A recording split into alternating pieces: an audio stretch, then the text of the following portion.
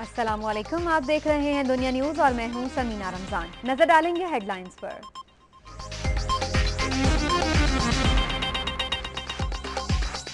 तंडो आदम तशद case का मरकजी मुलजिम इकबाल शेख अस्पताल से फरार हो गया।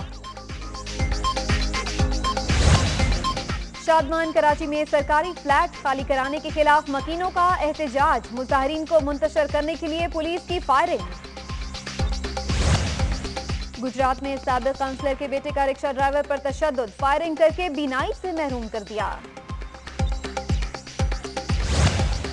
कराची के इलाके साइड के बैंक में नकद जनी, सिक्योरिटी गार्ड नकदी और सोना लूट कर फरार।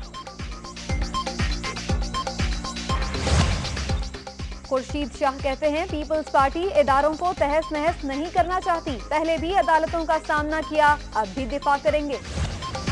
विकेट कीपर जोकदन हैदर ने तशद की फुटेज जारी कर दी, लेकिन जख्म कैसे आए, बताने से गुरेज। मोहल्लेदारों का कहना है कि भाइयों ने पिटाई की।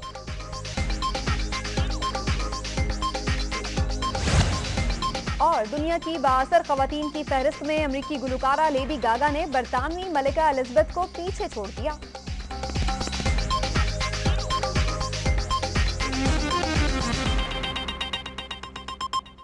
हेडलाइंस आपने देखी अब आप देख सकेंगे प्रोग्राम क्रॉस फायर देखते रहिए दुनिया न्यूज़